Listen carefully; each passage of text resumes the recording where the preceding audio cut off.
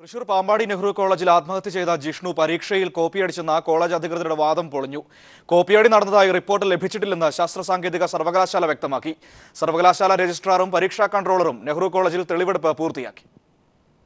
ശാസ്ത്ര സാങ്കേതിക സർവകലാശാല രജിസ്ട്രാർ ജി പി പത്മകുമാറും പരീക്ഷാ കൺട്രോളർ എസ് ഷാബുവുമാണ് പാമ്പാടി നെഹ്റു കോളേജിൽ തെളിവെടുപ്പ് നടത്തിയത്. ജിഷ്ണു കോപ്പിയടിച്ചതായി സർവകലാശാലയ്ക്ക് റിപ്പോർട്ട് ലഭിച്ചിട്ടില്ലെന്ന് പരീക്ഷാ കൺട്രോളർ വ്യക്തമാക്കി. ഇതുവരെ ഇവിടുന്ന് റിപ്പോർട്ട് ലഭിച്ചിട്ടില്ല. ഇങ്ങനെ ഒരു കുട്ടി കോപ്പി അടിച്ചതായിട്ട് ഇതുവരെ റിപ്പോർട്ട് ചെയ്തിട്ടില്ല. അപ്പോൾ ഗവൺമെന്റിന്റെ ഭാഗത്തു നിന്നും എഡ്യൂക്കേഷൻ മിനിസ്റ്റർ തന്നെ ഇന്നലെ മുൻകൈ എടുത്ത് ഇതിന്റെ ഒരു നിജസ്ഥിതി അന്വേഷിച്ച് റിപ്പോർട്ട് ചെയ്യാൻ വേണ്ടിയാണ് പറഞ്ഞിരിക്കുന്നത്.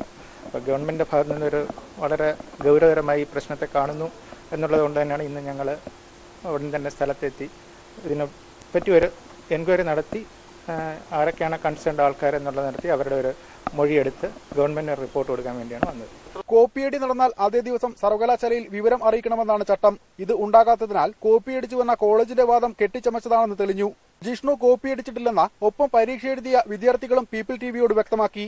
അവൻ പാസ്സാവും. സ്വന്തമായി പഠിച്ച് എഴുതിയ എക്സാം ആയിരുന്നു. അവൻ പാസ്സാവും അവൻ ഹൺഡ്രഡ് പെർസെന്റേജ് ഉറപ്പായിരുന്നു. അതാണ് അവൻ അത്രയും കരഞ്ഞു പറഞ്ഞു ഞാൻ കണ്ടതാണ്. ഞാൻ കോപ്പി അടിച്ചില്ല സാറേ ഞാൻ കോപ്പി അടിച്ചില്ല തെളിവെടുപ്പ് പൂർത്തിയാക്കി സർവകലാശാല രജിസ്ട്രാർ സർക്കാരിന് റിപ്പോർട്ട് നൽകും. ജിഷ്ണുവിന്റെ മൂക്കിൽ മുറിവ് ഉണ്ടായിരുന്നുവെന്ന പോസ്റ്റ്മോർട്ടം നടത്തിയ സർജൻ പോലീസിന് വിവരം നൽകി. ഇക്കാര്യത്തിൽ പോലീസ് അന്വേഷണം ഊർജിതമാക്കി. സംസ്ഥാനത്തുടനീളം ക്യാമ്പസുകളിൽ S F I K S U പ്രവർത്തകർ പ്രതിഷേധ പ്രകടനം നടത്തി. നെഹ്റു ഗ്രൂപ്പ് ചെയർമാൻ പി കൃഷ്ണദാസിന്റെ വീട്ടിലേക്ക് എ ബി വി പി പ്രവർത്തകർ മാർച്ച് നടത്തി. Cameraman P P സലീമിനൊപ്പം C G Diljith. Pampady Nehru college ഹോസ്റ്റലിൽ നിന്ന് വിദ്യാർത്ഥികളെ ഇറക്കിവിടാനുള്ള തീരുമാനം പ്രതിഷേധത്തെ തുടർന്ന് മാനേജ്മെന്റ് പിൻവലിച്ചു. തീരുമാനത്തിൽ കോളേജിൽ കടുത്ത പ്രതിഷേധമാണ് വിദ്യാർത്ഥികൾ ഉയർത്തിയത്. പരീക്ഷ നടക്കുന്നതിനാൽ ഹോസ്റ്റലിൽ തുടരാൻ അനുവദിക്കണമെന്നാവശ്യപ്പെട്ട് വിദ്യാർത്ഥികളും ജനപ്രതിനിധികളും മാനേജ്മെന്റുമായി നടത്തിയ ചർച്ചയിലാണ് തീരുമാനം. പരീക്ഷയ്ക്ക് ശേഷവും വിദ്യാർത്ഥികൾക്ക് ഹോസ്റ്റലിൽ തുടരാമെന്ന് അധികൃതർ ഉറപ്പു നൽകി കഴിഞ്ഞ ദിവസം രാത്രിയാണ് പെൺകുട്ടികളടക്കം ഹോസ്റ്റലിൽ നിന്ന് ഒഴിയാൻ കോളേജ് അധികൃതർ ആവശ്യപ്പെട്ടത്.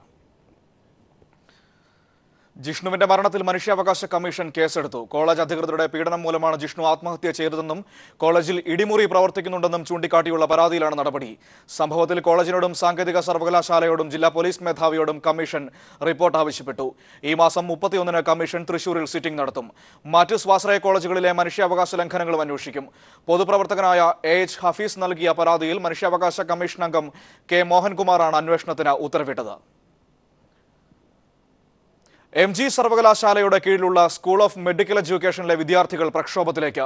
ആരോഗ്യ സർവകലാശാല നൽകി വന്ന തുല്യതാ സർട്ടിഫിക്കറ്റ് വിതരണം മുടങ്ങിയതോടെ വിദ്യാർത്ഥികൾ പ്രതിസന്ധിയിലാണ്.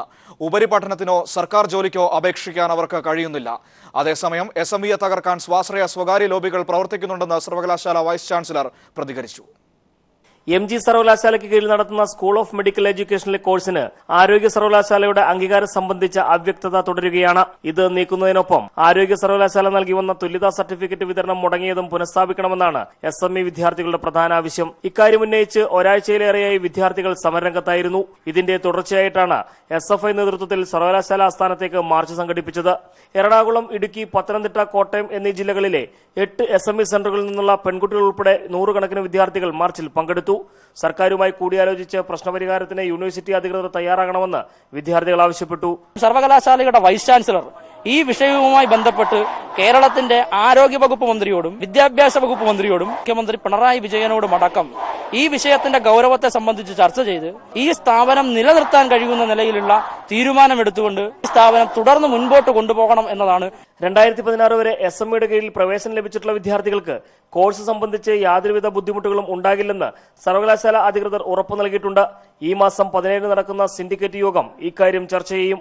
അതേസമയം എസ് എം എ തകർക്കാൻ സ്വാശ്രയ മാനേജ്മെന്റുകൾ നീക്കം നടത്തുകയാണെന്ന് സർവകലാശാല V C doctor Babu Sebastian പ്രതികരിച്ചു. News bureau Kottayam. സംഘടനാ തെരഞ്ഞെടുപ്പിലെ അവഗണനയിൽ നിലപാട് കടുപ്പിച്ച Oommen Chandy A I C C വിളിച്ച യോഗത്തിൽ നിന്ന് ഉമ്മൻചാണ്ടി വിട്ടുനിൽക്കും. നോട്ട് വിഷയം ചർച്ച ചെയ്യാൻ നാളെയാണ് എ ഐ സി സി യോഗം വിളിച്ചിരിക്കുന്നത്. എ ഗ്രൂപ്പിലെ പ്രധാന നേതാക്കളും യോഗത്തിൽ പങ്കെടുക്കില്ല. ഡി സി സി പുനഃസംഘടനയിൽ താൻ നൽകിയ പട്ടിക വെട്ടിയതു മുതൽ ഉമ്മൻചാണ്ടി കടുത്ത പ്രതിഷേധത്തിലാണ്. രാഷ്ട്രീയകാര്യ സമിതി യോഗം വിളിച്ചുവെങ്കിലും ഉമ്മൻചാണ്ടി പങ്കെടുക്കാത്തതിനാൽ രണ്ട് തവണ മാറ്റിവെച്ചിരുന്നു. വീണ്ടും പതിനാലിന് രാഷ്ട്രീയകാര്യ സമിതി ചേരാൻ തീരുമാനിച്ചിട്ടുണ്ടെങ്കിലും അതിലും ഉമ്മൻചാണ്ടി പങ്കെടുക്കില്ലെന്നാണ് സൂചന. കേന്ദ്ര സർക്കാരിനെതിരായ പ്രക്ഷോഭ പരിപാടികളെക്കുറിച്ച് ആലോചിക്കാൻ ചേരുന്ന യോഗത്തിൽ നിന്ന് വിട്ടുനിന്ന് തന്റെ പ്രതിഷേധം ഉമ്മൻചാണ്ടി ഘടിപ്പിക്കുമ്പോൾ അത് വ്യക്തമായ ലക്ഷ്യത്തോടെ തന്നെയാണ്.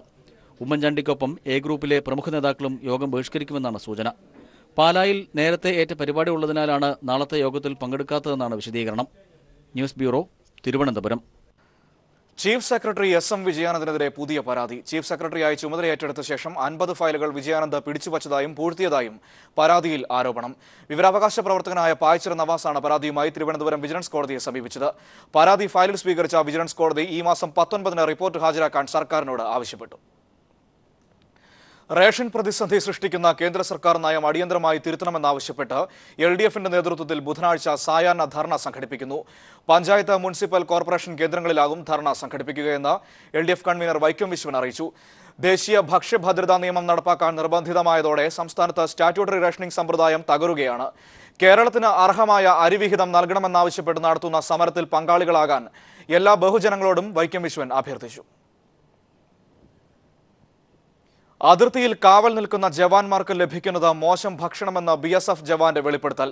നല്ല ഭക്ഷണം പോലും നൽകാതെ എങ്ങനെയാണ് പ്രതികൂല കാലാവസ്ഥയിൽ സൈനികർക്ക് ജോലി ചെയ്യാനാവുകയെന്ന് ടി ബി യാദവ് എന്ന ബി എസ് എഫ് ജവാൻ ഫേസ്ബുക്കിൽ പോസ്റ്റ് ചെയ്ത വീഡിയോയിൽ ചോദിക്കുന്നു. വീഡിയോ വൈറലായതോടെ ആഭ്യന്തരമന്ത്രി രാജ്നാഥ് സിംഗ് അന്വേഷണത്തിന് ഉത്തരവിട്ടു. അതേസമയം ടി ബി യാദവ് ഇരുപത് വർഷത്തെ സർവീസിനിടയിൽ നാല് തവണ അച്ചടക്ക നടപടി നേരിട്ടയാളാണെന്ന് B S F D I G പ്രതികരിച്ചു. ബി എസ് എഫ് ഇരുപത്തിയൊൻപതാം ബറ്റാലിയനിലെ ടി ബി യാദവ് എന്ന സൈനികനാണ് ദുരിതാവസ്ഥ വെളിവാക്കിക്കൊണ്ട് ഫേസ്ബുക്ക് പോസ്റ്റ് ഇട്ടത്.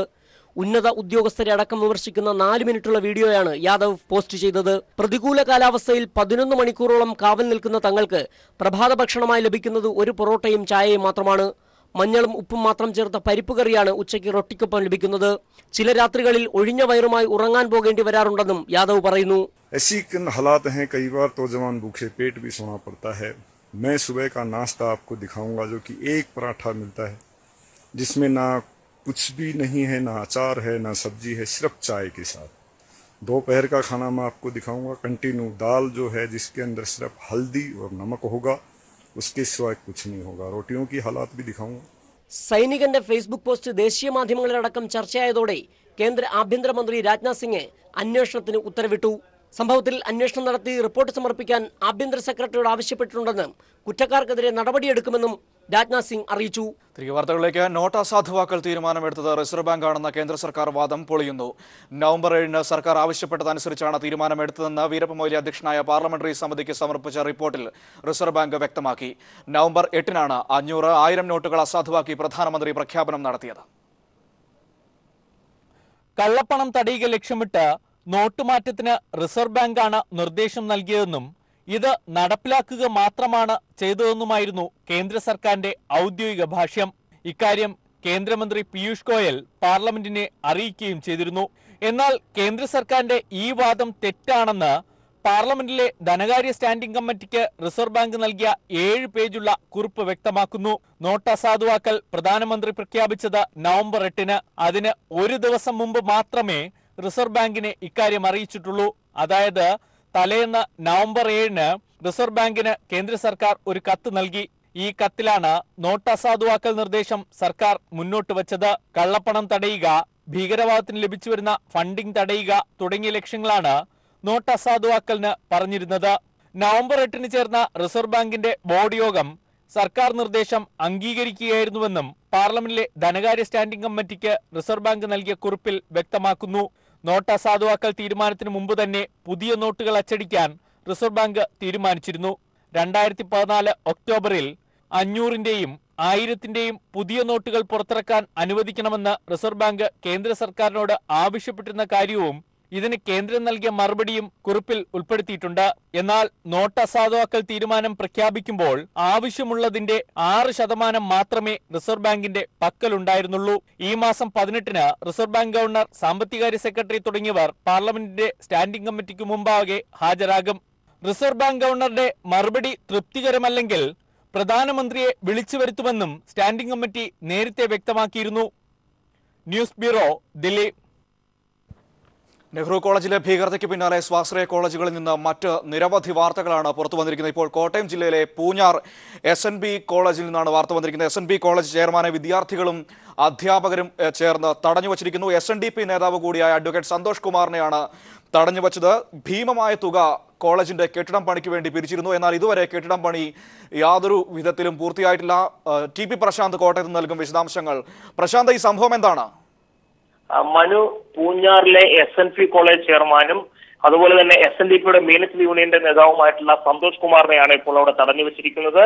ഈ college Sreenarayana Paramahamsa college of arts and science എന്ന പേരിലാണ് അറിയപ്പെടുന്നത്. ശ്രീനാരായണ പരമഹംസദേവ ചാരിറ്റബിൾ ട്രസ്റ്റ് അതായത് പാലയിലെ S N D P Yogam.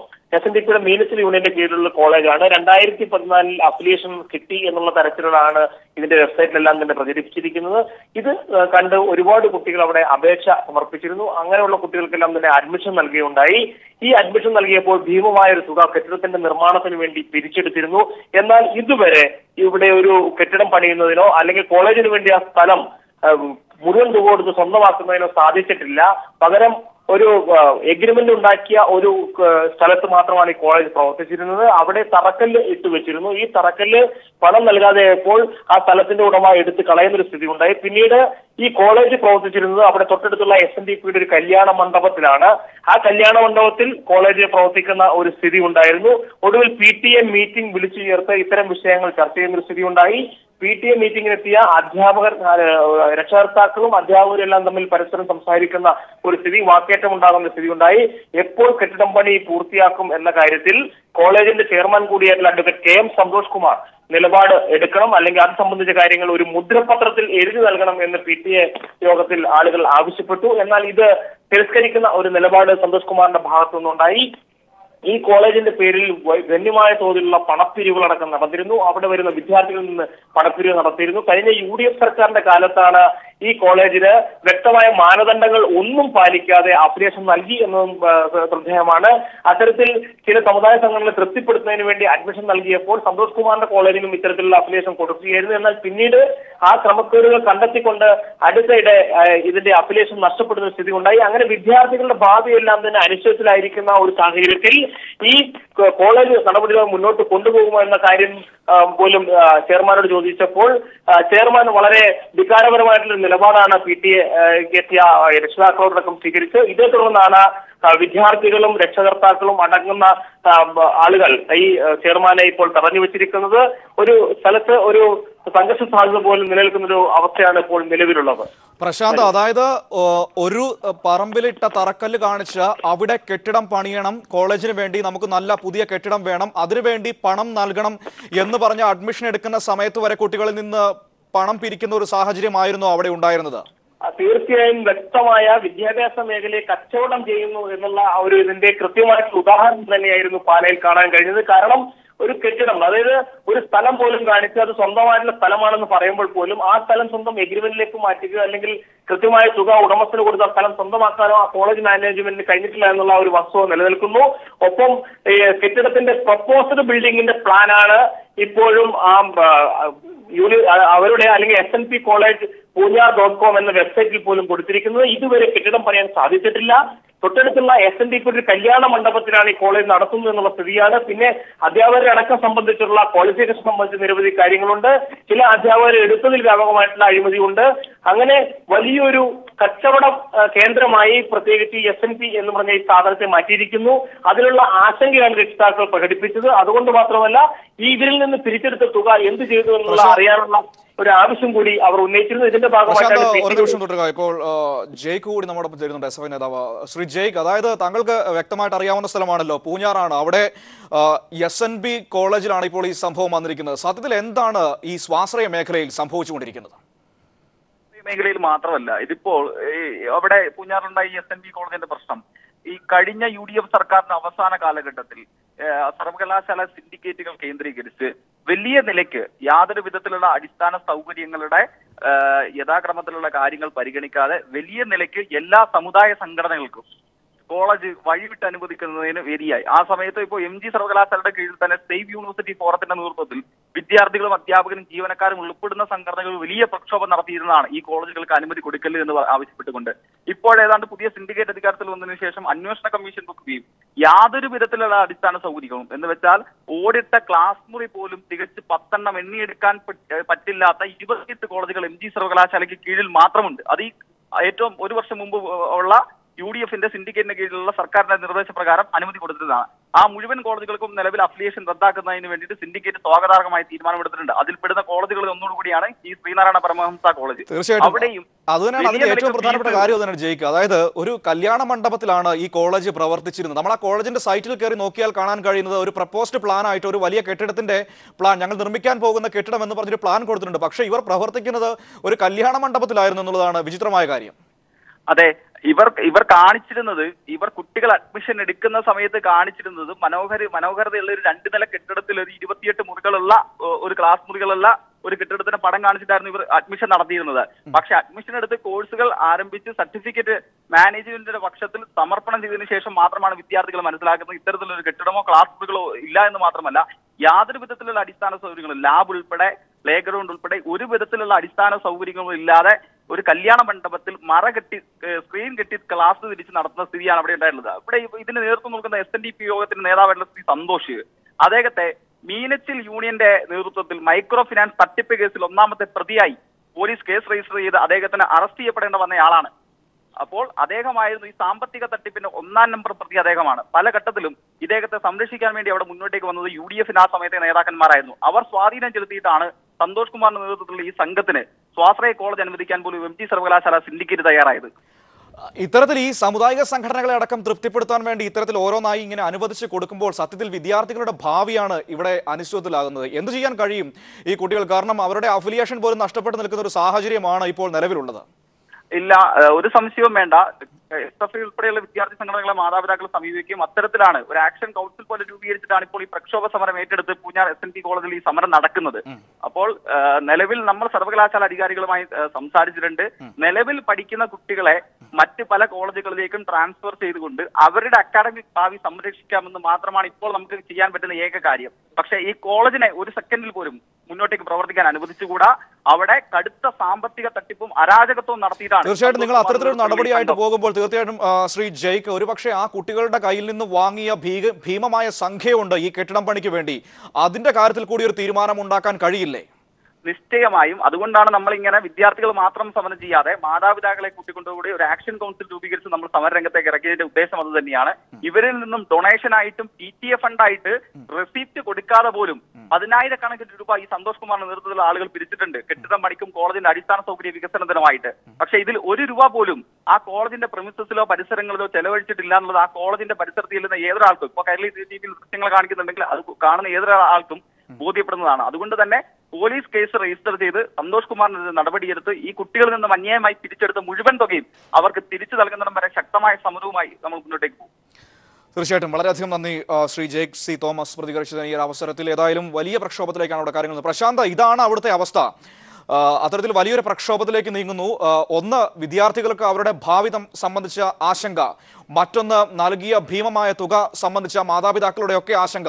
അങ്ങനെ ഇത്തരത്തിൽ ആരെയെങ്കിലുമൊക്കെ തൃപ്തിപ്പെടുത്താൻ വേണ്ടി ഇത്തരത്തിൽ സ്ഥാപനങ്ങൾ അനുവദിക്കുമ്പോൾ അത് അനുവദിക്കുന്നവർ ഇത്തരത്തിലുള്ള കാര്യങ്ങളെക്കുറിച്ച് ചിന്തിക്കുന്നില്ല എന്നുള്ളതാണ് യഥാർത്ഥത്തിൽ വാസ്തവം. മനു തീർച്ചയായിട്ടും കാരണം എം ജി സർവകലാശാലയുടെ കീഴിൽ കഴിഞ്ഞ സിൻഡിക്കേറ്റിന്റെ ഒരു നിമിഷം ഒരു നിമിഷം തുടരുക പ്രശാന്ത്. ഇപ്പോൾ പൂഞ്ഞാർ എം എൽ എ കൂടിയായ ശ്രീ പി സി ജോർജ് നമ്മോടൊപ്പം ടെലിഫോൺ ലൈനിലുണ്ട്. ശ്രീ പി സി ജോർജ് ഈ വിഷയം താങ്കളുടെ ശ്രദ്ധയിൽപ്പെട്ടിട്ടുണ്ടോ? എന്റെ പെട്ടെന്ന് എല്ലാ അറിയാം. എന്റെ അവിടെ ഈ കോളേജ് നടക്കുന്നത്. എന്താന്ന് ചോദിച്ചാൽ ഇത് സംഭവിച്ചത് എന്താന്ന് ചോദിച്ചാൽ എസ് എൻ ഡി പിക്ക് college U D P government കാലത്ത് അനുവദിച്ചതാണ് ആ കോളേജ് അത് എസ് എൻ ഡി പി ഈ താലൂക്ക് ഭരണ നേതൃത്വം അവിടെ കോളേജ് നടത്താൻ പറ്റാത്ത ഒരു സ്ഥലത്താണ് സ്ഥലം കണ്ടെത്തിയത്. അത് ഏകദേശം പൂഞ്ഞാറ്റ് അവിടെ നിന്ന് തന്നെ ഒരു പത്ത് കിലോമീറ്റർ മുകളിൽ മലയുടെ മുകളിലായിരുന്നു. അപ്പൊ അവിടെ അത് നടക്കാൻ പറ്റാതെ വന്നുകൊണ്ട് കോളേജ് അനുവദിച്ചപ്പോ അവിടെ അവിടുത്തെ കമ്മിറ്റി കൂടിയിട്ട് എസ് എൻ ഡി പിയുടെ ഇവിടെ മങ്കുഴി ക്ഷേത്രത്തോടനുബന്ധിച്ച് ഒരു ഒരു ഓഡിറ്റോറിയം ഉണ്ട്. ആ ഓഡിറ്റോറിയത്തിൽ കോളേജ് അങ്ങ് തുടങ്ങി. അനുവദിച്ച് കോളേജ് തുടങ്ങി എന്നുള്ളതാണ് അപ്പൊ തുടങ്ങി കഴിയുമ്പോൾ ബാക്കി സ്ഥലം മേടിക്കാൻ വേണ്ടിയുള്ള നീക്കം നടത്തുകയും സ്ഥലം സ്ഥലം മേടി നടന്നതെന്ന് മാത്രമല്ല അതിന്റെ അടിസ്ഥാനത്തിൽ താലൂക്ക് പ്രസിഡന്റ് സന്തോഷമാണ് പാലാ ഡിവൈഎസ് അറസ്റ്റ് ചെയ്തു. അതെ അതെ. അത്തരത്തിൽ കുറേയേറെ വിഷയങ്ങളുണ്ട്. ഇപ്പോൾ നമുക്ക് നിലവിൽ ഇതിൽ താങ്കൾ അടക്കമുള്ളവർക്ക് എന്ത് ചെയ്യാൻ കഴിയുമെന്നുള്ളതാണ് നമ്മുടെ മുമ്പിലെ ചോദ്യം. കാരണം കുട്ടികൾക്ക് അവരുടെ പണം നഷ്ടമായിരിക്കുന്നു അവരുടെ ഭാവിയെക്കുറിച്ചുള്ള ആശങ്കകൾ നിൽക്കുന്നു അങ്ങനെ ഒരുപാട് കാര്യങ്ങളുണ്ടല്ലോ. അല്ല ഇതിപ്പോ പ്രശ്നം വെച്ചാ പോലീസ് അവിടെ തെറ്റായി പോയെന്ന് പറഞ്ഞ് ഇപ്പൊ ഈ ഗവൺമെന്റ് തന്നെ അന്വേഷണത്തിൽ തെളിഞ്ഞ് അങ്ങനെ ആ നിൽക്കുന്നു. ഇപ്പോ അഞ്ചഞ്ച് സ്ഥലം ഉണ്ടെങ്കിൽ മാത്രമേ കളയം ഉണ്ടാവൂ. ഒരേക്കർ സ്ഥലമേ ഉള്ളൂ. കഴിഞ്ഞ ദിവസം സന്തോഷം കുമാർ എന്റെ അടുത്ത് വന്നിരുന്നു സ്ഥലം മേടിക്കാനുള്ള കാര്യങ്ങളാണ് ചർച്ച ചെയ്യാണ് എൺപത് ലക്ഷം രൂപ മുടങ്ങി നീ എസ് എൻ ഡി പി മുടക്കി കഴിഞ്ഞാൽ നിർബന്ധമായി മുടങ്ങിയ സ്ഥലം ഞങ്ങളോട് കിട്ടും അഞ്ച് ഏക്കറാണ്. അപ്പൊ അതിന്റെ അടിസ്ഥാനത്തിൽ യൂണിവേഴ്സിറ്റി അനുവാദം കൊടുക്കും. മുടങ്ങി തുടങ്ങാൻ കഴിയും. ഒരു കൊല്ലത്തിലേക്ക് എത്ര മണിയും തീർക്കാൻ കഴിയും? അതിപ്പോ എസ് എൻ ഡി പി യോജിപ്പില്ല. എസ് എൻ ഡി പിയുടെ ആളുകൾ പരസ്പരം സംഘർഷത്തിലാണ്. എന്ത് ചെയ്യാൻ പറ്റുമെന്ന് വെച്ചാൽ അവരെ നാളെ തന്നെ ഞാൻ വിളിക്കുന്നുണ്ട്. ഞാൻ വിളിക്കും ഇന്നലെ വിളിച്ചതും അവരെ യോജിപ്പിച്ച് ഒന്നിച്ച് വന്നിട്ട് ആ കോളേജ് എങ്ങനെ നോക്കാനാണ് പക്ഷേ ശ്രീ പി സി ജോർജ് ഇപ്പോൾ അവിടുത്തെ ഒരു സംഭവം എന്ന് വെച്ചാൽ ഈ ചെയർമാനെ അവിടുത്തെ വിദ്യാർത്ഥികളും രക്ഷിതാക്കളും എല്ലാവരും കൂടി തടഞ്ഞു വെച്ചിരിക്കുന്ന ഒരു സ്ഥിതിയിലാണ് ഇപ്പോൾ കാര്യങ്ങൾ. അതായത് ഇതിന് ഈ തീരുമാനങ്ങളെയൊക്കെ ചോദ്യം ചെയ്തിരിക്കുന്നു. ഈ കുട്ടികൾ അഡ്മിഷൻ എടുക്കുന്ന സമയത്ത് നാളെ കെട്ടിടം പണിയും മറ്റന്നാൾ കെട്ടിടം പണിയും എന്ന് പറഞ്ഞുകൊണ്ട് അവരുടെ കയ്യിൽ നിന്ന് രസീത് പോലും വാങ്ങാതെ വലിയ തുകകൾ മേടിച്ചിരിക്കുന്നു. അത്തരത്തിലുള്ള സാഹചര്യങ്ങളൊക്കെ ഉണ്ട്. ഇതെല്ലാം കണ്ടുകൊണ്ട് ഞാൻ പറയുന്നത് അതായത് അവിടെ ഫീസ് വാങ്ങിയിട്ടുണ്ട്. പിള്ളേർ പിന്നെ സാറന്മാരോട് നിയമിച്ചപ്പോ അവരോട് ഫീസ് വാങ്ങിയിട്ടുണ്ട്. അതൊക്കെ സത്യങ്ങളാണ്. ഞാൻ നിശ്ചയിക്കുന്നില്ലെന്ന് ഇത് ഞാനും ബന്ധപ്പെട്ട കാര്യമല്ല. ഒരു സമുദായ സംഘടന നടത്തുന്ന ഒരു കാര്യമാണ്. അപ്പൊ പ്രത്യേകിച്ച് S N D P S N D P ഇടപാടാണ്. അത് പിള്ളേരും മുഴുവൻ ബുദ്ധിമുട്ട്. പക്ഷെ പിള്ളേരുടെ പ്രശ്നം പരിഹരിക്കാതിരിക്കാൻ ഒക്കില്ല. വളരെ സീരിയസ് ആയിട്ട് അവരെ ഇടപെടുന്നതാണ്. അതിപ്പോ ആരെ ബന്ധമുള്ള പിള്ളേരെ പഠിക്കാൻ കുഞ്ഞുങ്ങൾ അർത്ഥമുള്ള പിള്ളേരുണ്ട്? അവരുടെ ജീവിതം വെള്ളത്തിന് അനുവദിക്കാൻ കഴിയില്ല. ശക്തമായ ഇടപെടലുണ്ടാവും. ഗവൺമെന്റ് ഇപ്പൊ എന്ത് ചെയ്യുന്നു എനിക്കറിയില്ല. ഗവൺമെന്റ് ചെയ്യുന്നത് അത് എസ് എൻ ഡി പി തന്നെ ചെയ്യണം. അതാണ് എന്റെ അഭിപ്രായം. അത് അതാണ് ശരി. അത് ചെയ്യാൻ കഴിയുന്ന സന്തോഷ് കുമാറായിട്ട് സംസാരിച്ചതാണ്. സന്തോഷ് കുമാറിന്റെ സ്ഥലത്ത് തയ്യാറെന്ന് പറഞ്ഞാണ് എൺപത് ലക്ഷം ഉണ്ടാക്കാൻ ഞാൻ എസ് എൻ ഡി പിയുടെ മറ്റു പല നേതാക്കന്മാരോട് സംസാരിച്ചു. ഇപ്പൊ ഈ സന്തോഷ് കുമാർ മാറിയാൽ രൂപ മുടക്കാമെന്ന് പറയുന്ന എസ് ഡി പി നേതാക്കന്മാരുണ്ട്. ഇവർ തമ്മിലുള്ള അഭിപ്രായ വ്യത്യാസമാണ് ഈ പ്രശ്നം. അപ്പൊ അത് പറഞ്ഞു ശ്രമിച്ചോണ്ടിരിക്കുക എനിക്കൊരു ക്ലാരിറ്റിക്ക് വേണ്ടി ചോദിക്കുന്നതാണ് ശ്രീ പി സി അതായത് ഈ സന്തോഷ് കുമാറിന്റെ സാന്നിധ്യമാണോ നിലവിൽ അവിടുത്തെ പ്രശ്നം? കാരണം അദ്ദേഹത്തിന്റെ പേരിൽ താങ്കൾ നേരത്തെ പറഞ്ഞതുപോലെ ഈ മീനച്ചിൽ താലൂക്കിന്റെ സ്ഥലമടക്കമുള്ള കാര്യങ്ങളുമായി ബന്ധപ്പെട്ട് കുറേയേറെ ആരോപണങ്ങൾ നിലനിൽക്കുന്നുണ്ട്. പോലീസ് കേസ് അടക്കമുള്ള സാഹചര്യങ്ങളുണ്ട്. അദ്ദേഹം പറഞ്ഞു അതിനകത്ത് സന്തോഷ് കുമാർ അല്ലെങ്കിൽ സന്തോഷ് കുമാറിനെതിരെ പോലീസ് നടപടി ശക്തമായിട്ട് സ്വീകരിച്ചു. ആ. നടപടി തെറ്റാണെന്ന് ക്രൈംബ്രാഞ്ച് അന്വേഷണത്തിൽ റിപ്പോർട്ട് കൊടുത്തിട്ടുണ്ട്. ഇപ്പൊ രണ്ട് ഇഷ്യൂ അതിനകത്തുണ്ട്. അപ്പൊ അതിങ്ങനെ കിടക്കുന്ന. അത് വേറൊരു കാര്യം. കാര്യങ്ങളാണ് പക്ഷെ ഈ സന്തോഷ് കുമാർ മാറിയാൽ ഒന്നെങ്കിൽ സന്തോഷ് കുമാർ ഇപ്പൊ എൺപത് ലക്ഷം രൂപ ഉണ്ടാക്കി സ്ഥലം എടുക്കണം. ഇല്ലെങ്കിൽ മറ്റ് എസ് എസ് മാറിയാൽ മറ്റ് എസ് എൻ ഡി പിയുടെ നേതാക്കന്മാർ വാദം മുടക്കാൻ തയ്യാറാന്ന് പറയുന്നുണ്ട്. അവരുമായിട്ട് ഞാൻ സംസാരിച്ചിട്ടുണ്ട്. അപ്പൊ ഒരു ഒന്ന് രണ്ട് ദിവസം പറഞ്ഞ് സെറ്റിൽ ചെയ്ത് പിള്ളേരുടെ ഭാവി സുരക്ഷ നോക്കാൻ കഴിയുമെന്നാണ് ഞാൻ കരുതുന്നത്. ശ്രീ പി സി ജോർജ് ഞാൻ ഒരു കാര്യം ചോദിക്കട്ടെ? അതായത് ഇപ്പോൾ ഇങ്ങനെയുള്ള വിഷയങ്ങളൊക്കെ ഉണ്ടായി ഈ നമ്മുടെ ശ്രദ്ധയിലേക്ക് വരുന്നു. സത്യത്തിൽ ഇത്തരത്തിലുള്ള ഈ സംഘടനകളെയൊക്കെ തൃപ്തിപ്പെടുത്താൻ വേണ്ടി ഇങ്ങനെ കോളേജുകൾക്കടക്കം അനുമതി കൊടുക്കുന്നവർ കൂടി ചിന്തിക്കേണ്ടത് കാരണം അന്ന് അവിടെ ഒരുപാട് പ്രശ്നങ്ങളൊക്കെ ഉണ്ടായതായിട്ടാണ് എന്റെ ഒരു അറിവ്. അന്ന് കോളേജിന് അനുമതി കൊടുക്കരുത് അല്ലെങ്കിൽ അത്തരത്തിൽ കുറേ ഏറെ കാര്യങ്ങളൊക്കെ നടന്നിരുന്നു. അതൊക്കെ സത്യമായ കാര്യങ്ങളല്ലേ? ഞാൻ സമുദായ സംഘടന ജാതി സംഘടനകളും ഒരു പരിധി വരെ നിയന്ത്രിക്കപ്പെടേണ്ടതല്ലേ? സത്യത്തിൽ ഞാൻ ഒളിച്ചൊന്നും വെക്കുന്നില്ല. കാരണം ഇതൊരു ജാതിയും മതവും പറയുന്ന കാര്യം കാണാൻ കാശ് മേടിക്കാൻ വേണ്ടി മനുഷ്യരെ രക്ഷിക്കാനല്ലല്ലോ ജാതിയും മതവും പറഞ്ഞ് കാശും ഉണ്ടാക്കാൻ നോക്കുക. രക്ഷിക്കാൻ നോക്കുന്നില്ലല്ലോ. ഞാനിപ്പോ ഒരു ജാതിമായിട്ട് ഇപ്പൊ ആകെ ആകെപ്പാടെ ഒരു ഒരു ജാതി സംഘടന മതസംഘടന പറയാൻ കഴിഞ്ഞ എൻ എസ് മാത്രമേ ഉള്ളൂ. അവർ പൊതുക്കാരും പറയും. ഇത് രാജ്യം മുഴുവൻ നമ്മുടെ കാര്യം പിടിച്ച് നടന്ന കോടതി ഉണ്ടാക്കി. വെള്ളപ്പനാശം ചെയ്ത് എൺപത് ലക്ഷം രൂപ ജ്ഞാനക്കാരിയാണ്. ഇവിടെ കൊടുക്കാത്ത എന്താ? അപ്പൊ അവിടെ പഠിക്കുന്ന പിള്ളേരുടെ ആത്മാർത്ഥ ഇല്ലെന്നല്ലേ? ഇതുപോലെ കുറെ ഏതായാലും വെള്ളാപ്പള്ളി പോലെ ആളുകളൊക്കെ ഈ ഗവൺമെന്റ് വന്നതിന് ശേഷം ഒരു ഒരു ബഫൂൺ ഭാഷ ആയിപ്പോയി ഒരു ഗുണം കിട്ടിയിട്ടുണ്ട്.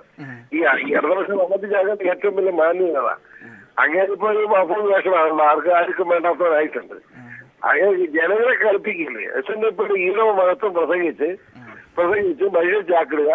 എന്നിട്ടാണ് അവരെ തന്നെ ജീവിതം കാശ് കിട്ടുക പണം അടിച്ചു മാറ്റി. ഇതല്ലേ നടക്കുന്നത്. എനിക്കതൊരു അമർശമുണ്ട് ഏതായാലും ആ കാര്യത്തിൽ ഇടതുപക്ഷ ഗവൺമെന്റിനോടുള്ള ഇടതുപക്ഷ ഗവൺമെന്റിന്റെ നയസമീപം എനിക്ക് അനുഭവം ഉണ്ടെന്ന് പറയാൻ തന്നെ ഞാൻ ആഗ്രഹിക്കാം. ഞാൻ ഒന്നുകൂടി ചോദിക്കട്ടെ ഈ വിദ്യാർത്ഥികളുടെ ഭാവി സംബന്ധിച്ച് സ്ഥലം എം എൽ എ നിലയിൽ സർവകലാശ കാരണം അഫിലിയേഷൻ നഷ്ടമാകുന്ന ഒരു സാഹചര്യം ഇപ്പോൾ ആ കോളേജിനുണ്ട്. അത്തരത്തിലുള്ള കാര്യങ്ങളിൽ കൂടി താങ്കൾക്ക് ഇടപെടാൻ കഴിയുമോ? തീർച്ചയായിട്ടും ഞാൻ വൈസ് ചാൻസലറോട് വിശദമായിട്ട് സംസാരിച്ചല്ലോ. അവർക്കറിയാം പിള്ളേർക്കറിയാം. തന്നെ സ്ഥലം വേണ്ടേ? അഞ്ചേക്കർ സ്ഥലം ഇല്ലാതെ കോളേജ് ഉണ്ടാവുമോ ആ. അഞ്ചേക്കർ സ്ഥലം ഉണ്ടാക്കണമെങ്കിൽ സ്ഥലം പണം വേണ്ടേ? ആ. പണം എല്ലാം കൂടെ പത്ത് ഒരു മൂന്ന് കോടി രണ്ടു കോടി മറ്റും മുടക്കി. ആർക്കും വേണ്ടാത്ത അവിടെ ഇരുമ്പുള്ളി മലയുടെ മുകളിൽ സ്ഥലം മേടിച്ചിട്ടിരിക്കുക. അവിടെ കോളേജ് വെക്കാൻ പറ്റുമോ? അവിടെ കോളേജ് വെച്ച പിള്ളേർ വണ്ടി പറഞ്ഞില്ലോ പിള്ളേർ ഹെലികോപ്റ്റർ കോളേജ് പോകാൻ പറ്റും അപ്പൊ താഴെ സ്ഥലം മേടിക്കണം നിർബന്ധമായും പറഞ്ഞു. അതിന് സ്ഥലം കണ്ട് വളമൊക്കെ സ്ഥലം കണ്ട് വെച്ചിട്ടുണ്ട്. അവിടെ ഒരേ സ്ഥലം ഇപ്പം മേടിച്ചിട്ടുണ്ട്. ബാക്കി നാലും കൂടി മേടിച്ചു കഴിഞ്ഞാൽ പ്രശ്നം തീർന്നു. ഇപ്പൊ മലയുടെ മുകളിൽ വീണ്ടും പള്ളി പത്തൊമ്പത് ഏക്കർ ഉണ്ട് കിടപ്പ്. ആ പത്തൊമ്പത് ഏക്കർ സമയത്ത് വിറ്റിട്ട് ഈ സ്ഥലം നാല് അഞ്ചൊക്കെ മേടിക്കാൻ പറ്റുന്നു അതൊക്കെ അതൊക്കെ എസ് എൻ ഇപ്പോഴും നേതൃത്വം കിട്ടിയ അപജയമാണ് അത് കേസും വഴക്കുക ഈ പറഞ്ഞ് പ്രശ്നം തീർക്കാൻ നോക്കല്ല കേസും വഴക്കം ഉണ്ടാക്കാൻ നോക്കല്ല പിന്നെ എന്ത് ചെയ്യും? പിള്ളേരത്തിനകത്ത് വേണം പിള്ളേർ പഠിക്കാത്ത പിള്ളേരെ വേണം എനിക്ക് അത്ഭുതം എങ്ങനെ ഈ പിള്ളേർ വിശ്വസിച്ചു എന്തെന്ന് എനിക്ക് മനസ്സിലാകുന്നില്ല. നമുക്ക് ഒരു പ്രതിക്ക് അപ്പുറത്ത് സമുദായ സംഘടന കരുതി ഞാൻ ഇടപെടാറില്ല. അല്ല അവിടെ വേറൊരു കാര്യം കൂടെ ഉണ്ട്. ഈ സമുദായ സംഘടനയുടെ കാര്യം പറയുമ്പോൾ പോലും അതായത് എസ് എൻ ഡി പിയുടെ കോളേജ് ആണ് എങ്കിൽ പോലും ഈ സന്തോഷ് കുമാർ ഇത് കൊണ്ടു നടന്നത് ഒരു സ്വകാര്യ സ്വത്തെന്ന രീതിയിലാണ്. ഈ പണം അടക്കം പിരിച്ചതിന്റെ അപ്പോൾ ഉത്തരവാദിത്വം അദ്ദേഹത്തിൽ നിന്നും ഒരിക്കലും നമുക്ക് മാറ്റി നിർത്താൻ കഴിയില്ല ശ്രീ പി സി ജോർജ്. അപ്പോൾ ആ ഒരു കാര്യങ്ങളൊക്കെ കൂടി വരണ്ടേ? ഇത് പ്രശ്നം എന്താ വെള്ളാപ്പള്ളി വെള്ളാപ്പള്ളി സന്തോഷ് കുമാറിനെ കൊല്ലണം എന്ന് പറയും. ആ വെള്ളാപ്പള്ളി സന്തോഷ് കുമാർ സന്തോഷ് കുമാർ നീ വിട്ടാക്കണ്ടെന്ന് പറയും. ഈ പരസ്പരം അടുപ്പിക്കുന്ന ഒരു വെള്ളാപ്പള്ളിയുടെ അഭിനന്ദിക്കും ഈ ആദ്യം നന്നായത് വെള്ളാപ്പള്ളിയാ. അങ്ങനെ ഇപ്പൊ ഇവിടെ മറ്റേ ഈ സന്തോഷ് കുമാർ എതിർന്ന ടീമല്ലാണ് ഈ സന്തോഷ് കുമാറിനെ വെള്ളാപ്പള്ളിക്ക് ഇഷ്ടമില്ലെന്ന് പറഞ്ഞപ്പോ അയാളെ മാറ്റം ഭൂരിപക്ഷം പേരുടെ രാജിവെച്ചു. ഭൂരിപക്ഷം പേര് രാജിവെച്ച് അവിടെ ചെന്ന് കഴിഞ്ഞപ്പോ വെള്ളാപ്പള്ളി രാത്രി പറഞ്ഞു നിങ്ങൾ രാജിവെച്ചാച്ചെന്ന് പറഞ്ഞു. ആ പേര് കൂട്ടത്തെല്ലാം പറഞ്ഞു. എന്നിട്ട് നിങ്ങൾ പൊക്കോ നോക്കട്ടെ ഉടൻ ചെയ്യാന്ന് പറഞ്ഞു. സന്തോഷ് കുമാർ രാത്രി ചെന്നപ്പോ നീ മാറുന്ന നീ അഡ്മിനിസ്ട്രേറ്റർ ആയിട്ട് അവിടെ ഇരുന്നോളാൻ പറഞ്ഞു. എങ്ങനെ നന്നാവും? അങ്ങനെ ഞാൻ ഈ പരസ്പരം അടുപ്പിക്കുന്നത്. ഞാൻ ആരോട് പറയാറ ഇതൊക്കെ? ഇതൊക്കെ രണ്ടു കൂട്ടരെ നിങ്ങൾ കരഞ്ഞോട്ട് പറഞ്ഞുള്ള കാര്യങ്ങളാ. അതായത് പ്രസിഡന്റ് ഇട്ടേച്ച് പോയി. സെക്രട്ടറി ഇട്ടേച്ച് പോകുന്നില്ല ഇങ്ങനെയൊക്കെ അടക്കം വെക്കണ്ടേ? ഇത് സത്യത്തിൽ നിങ്ങളുടെ വേറൊന്നും ഞാൻ മനസ്സിലാക്കിയിടത്തോളം ഇരുപത്തി അഞ്ച് കോളേജാണ് ഇപ്പോ ഗവൺമെന്റ് ക്യാൻസൽ ചെയ്തിരിക്കുന്നത്. ആ. ഇരുപത്തി അഞ്ചിൽ ആറെണ്ണം എസ് എൻ ഡി അവധിയാവും ഈ ഒരെണ്ണം മാത്രമല്ല. ഇരുപത്തഞ്ചിൽ ആറിന് എസ് ഡി പിയാ അവിടെ എല്ലാം ഈ വെള്ളാപ്പള്ളിയുടെ കശിലായിരുന്നു വെള്ളാപ്പള്ളി പള്ളി കൂടെ നടക്കുന്നു. എങ്കിലും സ്ഥലത്ത് സ്ഥലത്തടിക്കുന്ന കാര്യം നിങ്ങൾക്ക് ആ സമൂഹത്തെ ആ സമൂഹത്തെ മുഴുവൻ ശരിപ്പെടുത്തിയിട്ട് അങ്ങനെ പിന്മാറുമെന്ന് എനിക്ക് തോന്നുന്നത്. എന്റെ അഭിപ്രായം ഞാൻ പത്തിക്ക് പറയുക. ഒരു. കാര്യമില്ല ശരി ശരി. വളരെയധികം നന്ദി ശ്രീ പി സി ജോർജ് ഞങ്ങളോട് പ്രതികരിച്ചതിന്. സ്ഥല M L A P C George കൂടിയാണ് ഈ വിഷയത്തിൽ ഇപ്പോൾ പ്രതികരിച്ചത്. അദ്ദേഹം വിഷയത്തിൽ ക്രിയാത്മകമായ ഇടപെടൽ തന്നെ ഉറപ്പു നൽകുന്നു ഇപ്പോൾ ശ്രീ ഫസൽ ഗഫൂർ കൂടി നമ്മോടൊപ്പം ടെലിഫോൺ ലൈൻ ചേരുന്നുണ്ട്. ശ്രീ ഫസൽ ഗഫൂർ ഈ നെഹ്റു കോളേജിലെ വിഷയം ഭീകരമായ വാർത്തകൾ നമ്മൾ കേട്ട് നമ്മുടെ മുന്നിൽ നിൽക്കുമ്പോഴാണ് സാമ്പത്തികമായി ക്രമക്കേട് പോലുള്ള കാര്യങ്ങൾ ഇപ്പോൾ നമ്മുടെ മുന്നിലേക്ക് വരുന്നത്. പൂഞ്ഞാർ എസ് എൻ ബി കോളേജിൽ അവിടെ വിദ്യാർത്ഥികളുടെ കയ്യിൽ നിന്നും ഭീകരമായ രീതിയിൽ പണം പിരിച്ചിരുന്നു. കോളേജ് കെട്ടിടം പണിയാമെന്ന് എന്ന് കാണിച്ച്. പക്ഷേ ഇതുവരെ യാതൊരു നടപടികളും ഉണ്ടായിട്ടില്ല. ഒരു എഞ്ചിനീയറിംഗ് കോളേജ് പ്രവർത്തിക്കുന്നത് ഒരു കല്യാണ മണ്ഡപത്തിലാണ്. എന്താണ് പറയാനുള്ളത് താങ്കൾക്ക്? കുറെ തവണ ഞങ്ങൾ അതിനെ പറ്റിയിട്ട് ഈ വിഷയം നമ്മൾ ചർച്ച ചെയ്തിട്ടുള്ളതാണ്. എന്താ കാര്യം എന്ന് വെച്ചിട്ടുണ്ടെങ്കിൽ കേരളത്തിൽ എന്താ സംഭവിക്കുന്നത് വെച്ചാൽ തോന്നിയവർക്കൊക്കെ എൻ ഒ സി എഴുതി കൊടുത്തു. ഏകദേശം നൂറ്റി അറുപത് എഞ്ചിനീയറിംഗ് കോളേജുകൾ ഇരുപത്തഞ്ച് മെഡിക്കൽ കോളേജ് ഇങ്ങനെയാണ് പോകുന്നത്. പത്ത് ആയിരത്തോളം സ്വയാശ്രയ സ്ഥാപനങ്ങൾ ഉണ്ടായിട്ടുണ്ട്. ഇവിടെ എല്ലാം യൂണിവേഴ്സിറ്റിയുടെ ഇൻസ്പെക്ഷനുണ്ട് യൂണിവേഴ്സിറ്റി ഇൻസ്പെക്ഷൻ എന്ന് വെച്ചാൽ ഏറ്റവും വലിയൊരു പ്രഹസനമാണ്. ആ പ്രഹസനം നടന്നതിന് ശേഷം ഈ കോളേജുകളൊക്കെ പഴയ വാടക കെട്ടിടത്തിൽ തന്നെ തുടരുകയാണ്. ഇതല്ലല്ലോ ഇതിനെക്കാട്ടും പഴയ കോളേജുകൾ ഇഷ്ടംപോലെ തന്നെ ഉണ്ട്. ആ കോളേജുകളെല്ലാം ഒരു സ്വന്തം കെട്ടിടമോ സ്ഥലമൊന്നും ഇല്ലാതെ താൽക്കാലികമായിട്ട് അഫിലിയേഷൻ വാങ്ങിച്ചുകൊണ്ട് മുന്നോട്ട് പോവുകയാണ്. ഇതിൽ യൂണിവേഴ്സിറ്റി എടുക്കേണ്ട നടപടിയും ഗവൺമെന്റ് എടുക്കേണ്ട നടപടിയും ഒരു ഫിക്സഡ് ടൈമിന്റെ ഉള്ളിൽ ആ ബിൽഡിങ്ങും കാര്യങ്ങളും തീർത്തിട്ടില്ലെങ്കിൽ ഉടനെ തന്നെ അഫിലിയേഷൻ ഇത് മറ്റേ പിൻവലിക്കുകയും ആ ഗവൺമെന്റ് കൊടുത്ത എൻ ഒ സി റദ്ദാക്കുകയാണ് ചെയ്യേണ്ടത്. അല്ലാതെ ഇതിപ്പോ നടക്കുന്ന ഒരുപിടി കോളേജുകളുണ്ട്. വെറും വാടകഘട്ടത്തിൽ തന്നെയാണ് നടന്നുകൊണ്ടിരിക്കുന്നത്. ഇതാണ് അതിന്റെ സത്യം. അല്ല അവിടെ അത്തരത്തിൽ താങ്കൾ പറഞ്ഞത് വളരെ കറക്റ്റ് ആയ കാര്യമാണ്. പക്ഷേ അത്തരത്തിൽ ഈ ഒരു ഒരു ഘട്ടത്തിൽ വെച്ച് ഇത്തരത്തിൽ എൻ ഒ സി പിൻവലിക്കുക അഫിലിയേഷൻ റദ്ദാക്കുക എന്നൊക്കെ പറയുമ്പോൾ അവിടെ പഠിക്കുന്ന വിദ്യാർത്ഥികൾ പിന്നെ എങ്ങോട്ട് ഷിഫ്റ്റ് ചെയ്യണം? അത്തരത്തിലുള്ള ഒരു കുറേ ആശങ്കകൾ അവർ അനുഭവിക്കേണ്ടി വരുന്ന മാനസികമായ വിഷങ്ങൾ വിഷമങ്ങൾ അവരുടെ സാമ്പത്തികപരമായ പ്രശ്നങ്ങൾ ഇതൊക്കെ നമ്മൾ കാണേണ്ടതല്ലേ?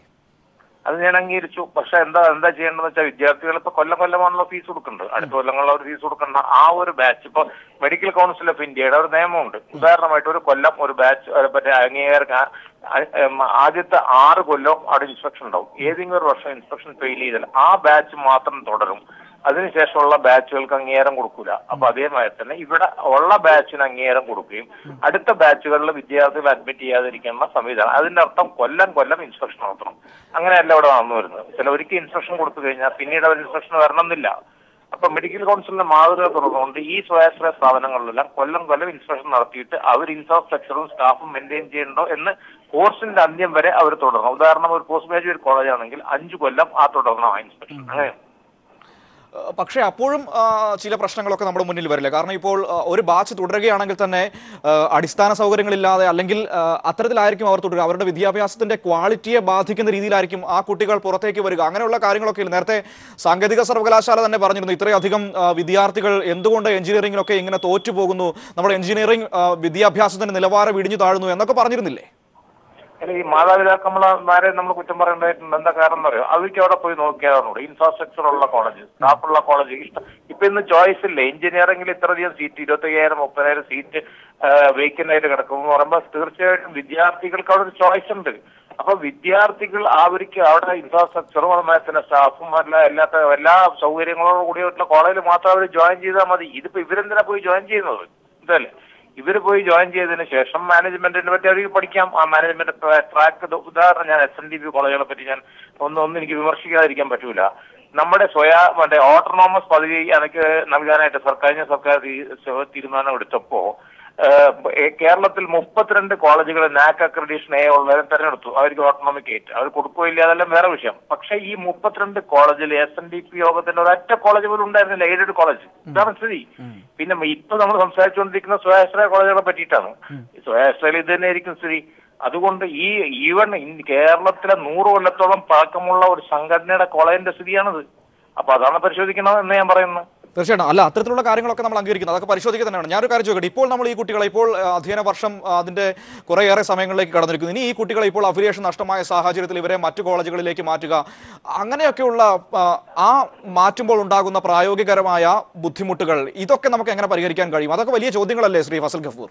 അല്ല അത് ഞാൻ ചോദിക്കട്ടെ. നമ്മൾ ഇടുക്കി മെഡിക്കൽ കോളേജ് വേണ്ടെന്ന് വെച്ചിട്ട് മെഡിക്കൽ കോളേജിലെ കുട്ടികളെ മാറ്റിയില്ലേ? അപ്പൊ പിന്നെ ആർട്സ് ആൻഡ് സയൻസ് കോളേജിൽ ഒരു ബുദ്ധിമുട്ടുമില്ല. ചുറ്റുവട്ടം ഇന്ന് കേരളത്തിൽ എത്ര ആർട്സ് ആൻഡ് സയൻസ് കോളേജ് പ്രത്യേകിച്ച് സ്വയ- സ്വയാശ്രയ എനിക്ക് നാനൂറ് അഞ്ഞൂറ് തുടരുക ഒരു നിമിഷം തുടരുക ഇപ്പോൾ ആ കോളേജിലെ പൂഞ്ഞാറിലെ S N S N B കോളേജിലെ വിദ്യാർത്ഥിയായ ശ്രീ ഗോപികൃഷ്ണൻ നമ്മോടൊപ്പം ചേരുന്നുണ്ട്. ഗോപികൃഷ്ണൻ സത്യത്തിൽ ആ കോളേജിൽ സംഭവിച്ചത് എന്താണ്?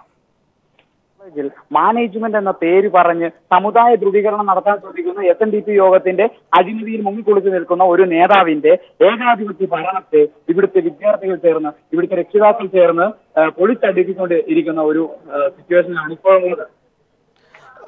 ഗോപി നിങ്ങൾ ഇവിടെ അഡ്മിഷൻ എടുക്കുന്ന സമയത്ത് നിങ്ങൾ അവിടെ വരുന്ന സമയത്ത് ഇവർ നിങ്ങൾക്ക് മുന്നിൽ പറഞ്ഞ കാര്യങ്ങൾ എന്തൊക്കെയായിരുന്നു? ഞങ്ങളുടെ മുമ്പിലേക്ക് വാഗ്ദാനങ്ങൾ രൂപേണ തന്ന വാഗ്ദാനങ്ങളെല്ലാം കാറ്റിൽ പറത്തിയെന്ന് മാത്രമല്ല അഡ്മിഷൻ എടുത്ത് രണ്ടാം വർഷം ഇപ്പൊ മൂന്നാം വർഷ വിദ്യാർത്ഥിയാണ് രണ്ടാം വർഷം പഠിക്കുമ്പോൾ ഞങ്ങൾക്ക് പുതിയ കോളേജിലേക്ക് ബിൽഡിംഗ് മാറ്റാം. തുടങ്ങി മാനേജ്മെന്റിന്റെ മോഹന വാഗ്ദാനങ്ങൾ തന്നിട്ട് ഈ വിദ്യാർത്ഥികളുടെ മുഴുവൻ ഇവിടെ പഠിക്കുന്ന മുഴുവൻ വിദ്യാർത്ഥികളുടെ ഭാവിയെ കടലാസിൽ ഒതുക്കിക്കൊണ്ട് ഭാവിയെ പറത്തി പറത്തിക്കളഞ്ഞുകൊണ്ട് ഞങ്ങളെ ആകെ ഇവിടുത്തെ വിദ്യാർത്ഥി സമൂഹത്തിനെ ആകെ അപമാനിക്കുന്ന തരത്തിലുള്ള നടപടികളിലേക്കാണ് ഇവിടുത്തെ മാനേജ്മെന്റ് മാറിക്കൊണ്ട് മാനേജ്മെന്റ് പോയിട്ടുള്ളത്. നിങ്ങൾ ഈ കാര്യങ്ങളൊക്കെ ചോദിച്ചില്ലേ? ഞങ്ങൾ അഡ്മിഷൻ എടുക്കുന്ന സമയത്ത് നിങ്ങൾ പറഞ്ഞത് ഇങ്ങനെയാണല്ലോ. എന്തുകൊണ്ട് നിങ്ങൾ അതൊന്നും പൂർത്തീകരിക്കുന്നില്ല? നല്ല രീതിയിൽ കോളേജ് കൊണ്ടുപോകില്ല എന്ന് ചോദിച്ചപ്പോൾ എന്തായിരുന്നു പ്രതികരണം അവരുടെ? സാർ അതിനെക്കുറിച്ച് ചോദിക്കുമ്പോൾ ഈ അഡ്മിഷനെ കുറിച്ച് ചോദിക്കുമ്പോൾ ഞങ്ങൾക്ക് വന്ന വാഗ്ദാനങ്ങളെ കുറിച്ച് ചോദിക്കുമ്പോൾ നിഗൂഢമായ അല്ലെങ്കിൽ ദുരൂഹമായ ചില മൗനം മാത്രം മറുപടി തന്നുകൊണ്ട് ഈ പറയുന്ന വിദ്യാർത്ഥികളെ മുഴുവൻ ഇലിറ്ററാകുന്ന തരത്തിലുള്ള ഒരു നടപടിയാണ് ഈ മാനേജ്മെന്റ് സ്വീകരിച്ചിട്ടുള്ളത്. നിങ്ങൾക്ക് അവിടെ എന്തെങ്കിലും തരത്തിലുള്ള ലാബ് സൗകര്യമോ അല്ലെങ്കിൽ അത്തരത്തിൽ എന്തെങ്കിലും ഒക്കെ ഒരു എഞ്ചിനീയറിംഗ് വിദ്യാഭ്യാസത്തിന് വേണ്ട ഏതെങ്കിലും സൗകര്യങ്ങൾ നിങ്ങൾക്ക് ലഭിച്ചിരുന്നോ? ക്ഷമിക്കണം സാർ ഒരു തിരുത്തൽ ആഗ്രഹിക്കുകയാണ്. ഇത് എഞ്ചിനീയറിംഗ് വിദ്യാഭ്യാസ സ്ഥാപനമല്ല ആർട്സ് ആൻഡ് സയൻസ് വിദ്യാഭ്യാസ സ്ഥാപനമാണ്. പക്ഷേ ഇവിടെ computer B Com with computer application എന്ന കോഴ്സ് നടക്കുന്നു. ഈ കോഴ്സിൽ തന്നെ ഞങ്ങൾക്ക് ലാബ് എന്ന ലാബ് എന്ന ഫെസിലിറ്റി മാത്രം തന്നിട്ട് മറ്റ് പല ഫെസിലിറ്റികൾ ഫെസിലിറ്റികളും തരാമെന്ന് തരാം തരാം എന്ന് പറയുന്നതല്ലാതെ ഈ ഫെസിലിറ്റികളൊന്നും ഇവിടെ എത്തിക്കാൻ വേണ്ടി മാനേജ്മെന്റിന് കഴിഞ്ഞിട്ടില്ല. എന്നാൽ ഇതിനെക്കുറിച്ച് ചോദിക്കുമ്പോൾ ദുരൂഹമായ അല്ലെങ്കിൽ നിഗൂഢമായ ചില മൗനങ്ങൾ മാത്രമാണ് വിദ്യാർത്ഥികൾക്ക് മാനേജ്മെന്റിന്റെ ഭാഗത്തുനിന്ന് ലഭിക്കുന്നത്. ഒരു കല്യാണ മണ്ഡപത്തിലാണോ ഇപ്പോൾ ഈ സ്ഥാപനം പ്രവർത്തിക്കുന്നത്? ഒരു മുൻപ് കല്യാണ മണ്ഡപം ആയിരുന്ന എന്നാൽ ഇന്ന് ആ സൗകര്യങ്ങളെ പരിമിതപ്പെടുത്തിക്കൊണ്ട് ചില ഒരു തരത്തിലും ഒരു കോളേജാണ് എന്ന് തോന്നിപ്പിക്കാത്ത തരം. ഒരു ചില കല്യാണം കല്യാ പലപ്പോഴും കല്യാണങ്ങൾ നടക്കുമ്പോൾ ക്ലാസ് മുടങ്ങുന്ന ഒരു സ്ഥിതിയിലേക്ക് മാറിയിട്ടുണ്ട്. അല്ലെങ്കിൽ അമ്പലത്തിന്റെ ഉത്സവം നടക്കുമ്പോൾ ക്ലാസ് മുടങ്ങുന്ന ഒരു സ്ഥിതിയിലേക്ക് മാറിയിട്ടുണ്ട്. ഇത്തരത്തിലുള്ള ഒരു വളരെ അനാസ്ഥകരമായ നടപടിയിൽ ഞങ്ങൾ വിദ്യാർത്ഥികൾക്ക് ആകെ നിരാശയുണ്ട്. അതുമാത്രമല്ല ഞങ്ങളുടെ മാനേ ഞങ്ങളുടെ രക്ഷകർത്താക്കൾക്കും ഒരു നിരാശയും അവർക്കും ഒരു ഭയവും ഒക്കെ ഉള്ളതുകൊണ്ടാണ് ഇന്ന് അവർ പ്രതികരിക്കാൻ തയ്യാറായത്. ഇപ്പോൾ ഈ നിങ്ങൾ ഇനിയുള്ള നിങ്ങളുടെ തുടർ നടപടികൾ എന്തൊക്കെയാണ് ഇനി ഈ വിഷയത്തിൽ ചെയ്യാൻ പോകുന്നത്? തുടർ നടപടികളിൽ ഈ വിദ്യാർത്ഥികളുടെ ആശങ്ക പരിഹരിക്കുന്ന തരത്തിലുള്ള നടപടികൾ മാനേജ്മെന്റ് സ്വീകരിക്കാത്ത പക്ഷം ഞങ്ങൾ ബഹുജനങ്ങളുടെ പിന്തുണയോടുകൂടി ബഹുജനങ്ങളുടെ പിന്തുണയോടുകൂടി ഞങ്ങൾ മറ്റു പരിപാടി മറ്റു പ്രക്ഷോഭ പരിപാടികളിലേക്ക് നീങ്ങുകയും മാനേജ്മെന്റിന് തക്കതായ രീതിയിലുള്ള മറുപടി കൊടുക്കുവാൻ ഞങ്ങൾ ശ്രമിക്കുകയും ചെയ്യും. നിങ്ങൾ ഈ സന്തോഷ് കുമാറുമായി നേരിട്ട് സംസാരിച്ചിരുന്നു. സന്തോഷ് നേരിട്ട് സംസാരിക്കുമ്പോൾ ഈ ചില വസ്തുതാവിരുദ്ധമായ കാര്യങ്ങൾ പറഞ്ഞിട്ട് യൂണിവേഴ്സിറ്റിയിൽ നിന്നും കിട്ടുന്ന അറിവുകൾ അറിവില്ല എന്ന തരത്തിൽ വസ്തുതാപരമായ ചില കാര്യങ്ങൾ പറഞ്ഞിട്ട് സന്തോഷ് കുമാർ ഞങ്ങളെ അടി ഒരു ഞങ്ങളെ ഒരു ഞങ്ങളുടെ അഭിപ്രായങ്ങൾ സപ്രസ് ചെയ്യാൻ വേണ്ടി അദ്ദേഹം ശ്രമിക്കുന്നത്. അദ്ദേഹത്തിന്റെ ഈ ശ്രമങ്ങൾക്കെതിരെയാണ് ഞങ്ങൾ ഇന്ന് പ്രതികരിക്കുന്നത്. ഗോപികൃഷ്ണൻ അന്ന് നിങ്ങൾ വരുന്ന സമയത്ത് അവിടെ ഒരു ഒരു പറമ്പ് കാണിച്ച് അവിടെ തറക്കല്ലിട്ട് ഇവിടെയാണ് നമ്മൾ കെട്ടിടം പണിയാൻ പോകുന്നത് എന്ന തരത്തിലൊക്കെ ഒരു പ്ലാനൊക്കെ കാണിച്ചിരുന്നല്ലോ. ആ ഭാഗത്തിന്റെ ഒക്കെ ഇപ്പോഴത്തെ അവസ്ഥ എന്താണ്? പ്ലാൻ പ്ലാനുകളെ കുറിച്ചുള്ള വ്യക്തതകളൊന്നും വിദ്യാർത്ഥികളുമായി പങ്കുവയ്ക്കാൻ മാനേജ്മെന്റ് തയ്യാറായിട്ടില്ല എന്ന് മാത്രമല്ല. സർ കേൾക്കുന്നുണ്ടോ? കേൾക്കുന്നുണ്ട് കേൾക്കുന്നുണ്ട്. പറഞ്ഞോളൂ. പ്ലാനുകളെ കുറിച്ചുള്ള കാര്യങ്ങൾ ചർച്ച ചെയ്യാൻ മാനേജ്മെന്റ് തയ്യാറായിട്ടില്ല എന്ന് മാത്രമല്ല ഞങ്ങൾക്ക് ഈ പ്ലാനുകൾ കാണിക്കുകയോ ഒപ്പം ആ തറക്കല്ലെന്ന പേരിൽ അവിടെ ഒരു മാമാങ്കം നടത്തിയതിനു ശേഷം അങ്ങോട്ട് തിരിഞ്ഞു നോക്കാൻ പോലും മാനേജ്മെന്റ് തയ്യാറായിട്ടില്ല എന്നുള്ളതിന്റെ വ്യക്തമായ തെളിവാണ് ഇന്ന് ഇത്രയേറെ ഇത്രയേറെ വിദ്യാർത്ഥികൾ ഇത്രയേറെ രക്ഷിതാക്കളിലൂടെ പഠിച്ചുകൂടാൻ കാരണമായത്. തുടരുക ഗോപികൃഷ്ണൻ. വളരെ വേഗത്തിൽ താങ്കളിലേക്ക് തിരികെ വരാം. കൂടുതൽ കാര്യങ്ങൾ താങ്കളിൽ നിന്ന് ചോദിച്ചറിയാനുണ്ട് നമുക്കൊരു ഇടവേള അനിവാര്യമായിരിക്കുന്നു. വളരെ വേഗത്തിൽ ഒരു ഇടവേളയിലേക്ക് പോയ ശേഷം തിരികെ വരാം. ഗോപികൃഷ്ണൻ കേൾക്കാമോ? കേൾക്കാം സർ പറയും. അതായത് നമ്മൾ നേരത്തെ പറഞ്ഞു വന്നത് അതായത് ഇത്തരത്തിൽ ഈ പ്ലാനിനെ കുറിച്ചൊന്നും നിങ്ങളോട് യാതൊരു കാര്യവും പറയുകയില്ലായിരുന്നു. നിങ്ങൾ ചോദിക്കുമ്പോൾ പിന്നെ അവർ എന്തായിരുന്നു അപ്പോൾ നിങ്ങൾക്ക് തന്നിരുന്ന മറുപടികൾ? ഈ ചോദിക്കുമ്പോൾ നമുക്ക് നാളെ നാളെ നാളെ എന്ന് പറഞ്ഞുകൊണ്ട് അല്ലെങ്കിൽ ചില തരത്തിൽ തരത്തിലുള്ള ദുരൂഹമായ ചില മൗനങ്ങളാണ് ഞങ്ങൾക്ക് മറുപടിയായി ലഭിക്കുന്നത് അതായത് ചില പുഞ്ചിരികൾ ചില ദുരൂഹമായ ചില പുഞ്ചിരികൾ അല്ലെങ്കിൽ ചില നിഗൂഢമായ മൗനങ്ങളാണ് ഞങ്ങൾ വിദ്യാർത്ഥികൾക്ക് ഈ- മാനേജ്മെന്റിന്റെ ഭാഗത്തു നിന്ന് ലഭിക്കുന്നത്. ഇപ്പോൾ നമുക്ക് അഫിലിയേഷന്റെ കാര്യത്തിലടക്കം ചില പ്രശ്നങ്ങൾ നേരിട്ടിട്ടുണ്ട് എന്നാണ് നമുക്ക് അറിയാൻ കഴിയുന്നത്. ഒരുപാട് വിദ്യാർത്ഥികളുടെ ഭാവി കൂടി ആശങ്കയിലാണ്. ഇനിയിപ്പോ എന്താണ് ചെയ്യാൻ കഴിയുക? അത്തരത്തിലുള്ള കാര്യങ്ങളിൽ. അത്തരത്തിലുള്ള കാര്യങ്ങളിൽ ഇപ്പോൾ മാനേജ്മെന്റിന്റെ അവകാശവാദം അനുസരിച്ച് ഏപ്രിൽ മെയ് മുപ്പത്തി ഒന്നാം തീയതിക്കകം ബിൽഡിംഗ് പൂർത്തീകരിക്കുകയാണെങ്കിൽ എം ജി യൂണിവേഴ്സിറ്റിയുടെ ഭാഗത്തു നിന്നും അഫിലിയേഷൻ ലഭിക്കുവാൻ വിദൂരമായ സാധ്യതയുണ്ട് എന്ന മാനേജ്മെന്റിന്റെ അവകാശവാദം അനുസരിച്ച് അവകാശവാദത്തിന്റെ നിജസ്ഥിതിയെ കുറിച്ച് പറയുവാൻ എനിക്ക് വ്യക്തമായി അറിയില്ല. എങ്കിലും മാനേജ്മെന്റിന്റെ നിജ മാനേജ്മെന്റിന്റെ ഒരു വാക്കനുസരിച്ച് ഈ മുപ്പത്തിയൊന്നാം തീയതിക്കുള്ളിൽ ബിൽഡിംഗ് പണിത് കോളേജിന്റെ അഫിലിയേഷൻ നീട്ടിക്കൊണ്ടുപോയി ഇതൊരു സരസ്വതി സ്ഥാനമായി പൂഞ്ഞാറിന് മണ്ണിൽ നിലനിർത്തുവാൻ കഴിയുമെന്ന് മാനേജ്മെന്റ് പക്ഷേ അത്തരത്തിൽ ഏതെങ്കിലും തരത്തിലുള്ള ഒരു നിർമ്മാണ പ്രവർത്തനങ്ങളോ ഒരു ദ്രുതഗതിയിലുള്ള പണികളോ അവിടെ നടക്കുന്നുണ്ടോ ഗോപികൃഷ്ണൻ ദ്രുതഗതിയിലുള്ള പണികൾ എന്റെ അറിവനുസരിച്ച് ഇന്ന് വരെ അവിടെ പണികൾ ആരംഭിച്ചിട്ടില്ല. ദ്രുതഗതിയിലെന്നല്ല ഒരു ഗതിയിലും അവിടെ പണി നടക്കുന്നില്ല. അപ്പോൾ ഇനി എന്ത് ചെയ്യാൻ കഴിയും? കാരണം അവർ ഈ പറയുന്നത് പോലെ തുടക്കം മുതലുള്ള ഈ വാഗ്ദാനങ്ങൾ മാത്രമാണുള്ളത്. യാതൊരു വിധത്തിലുള്ള പ്രവൃത്തിയും അവിടെ നടക്കുന്നില്ല. അപ്പോൾ സ്വാഭാവികമായും വലിയൊരു പ്രതിഷേധങ്ങളിലേക്ക് തന്നെ നിങ്ങൾ നീങ്ങേണ്ട ഒരു സാഹചര്യം മുന്നിലില്ലേ? ആ- സാഹചര്യം മുന്നിൽ കൊണ്ടുകൊണ്ട് മുന്നിൽ കണ്ടുകൊണ്ട് ഇത്ര വിദ്യാർത്ഥികളുടെ ഭാവിയെ ഉൾക്കൊണ്ടുകൊണ്ട് ഞങ്ങൾ ബഹുജനങ്ങളുടെ പിന്തുണയോടുകൂടി മുൻപോട്ട് മുൻപോട്ട് പോകുമെന്നാണ് ഇപ്പ- ഇപ്പോഴത്തെ ഇത്തവണത്തെ വിദ്യാർത്ഥി കൂട്ടായ്മയിൽ നിന്ന് നമുക്ക് അറിയാൻ കഴിയുന്നത്. തീർച്ചയായിട്ടും. നന്ദി ശ്രീ ഗോപികൃഷ്ണൻ ഞങ്ങളുടെ ഈ അവസരത്തിൽ അവിടുത്തെ കാര്യങ്ങൾ വ്യക്തമാക്കിയതിന്. ശ്രീ ഫാസൽ ഗഫൂർ ഒരിക്കൽ കൂടി ചേരുന്നുണ്ട്. ശ്രീ ഫാസൽ ഗഫൂർ അവിടുത്തെ ഒരു വിദ്യാർത്ഥിയാണ് നമ്മളോട് ഈ കാര്യങ്ങളൊക്കെ പറഞ്ഞത്. ഈ പറയുന്ന കാര്യങ്ങളൊക്കെ വിശ്വസിച്ച് അവിടെ അഡ്മിഷൻ എടുത്തു എന്നത് ശരി തന്നെ. പക്ഷേ അതിനുശേഷം അവിടെ സംഭവിക്കുന്നത് ഇത്തരത്തിലൊക്കെ ആണെങ്കിൽ താങ്കൾ കൂടി വിദ്യാഭ്യാസ രംഗത്ത് പ്രവർത്തിക്കുന്ന ഒരാൾ കൂടിയല്ലേ? എങ്ങനെ നമുക്ക് ഇതിനെയൊക്കെ ഇതിനോടൊക്കെ നമുക്ക് പൊരുത്തപ്പെടാൻ കഴിയും ശ്രീ ഫാസൽ ഗഫൂർ?